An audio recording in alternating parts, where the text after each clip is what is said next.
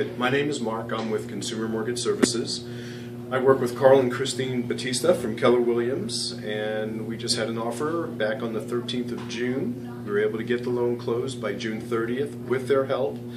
They were very good about giving me all the disclosures, any addendums, any amendments. They were wonderful to work with, and as a team effort, we were able to get a loan done in less than three weeks.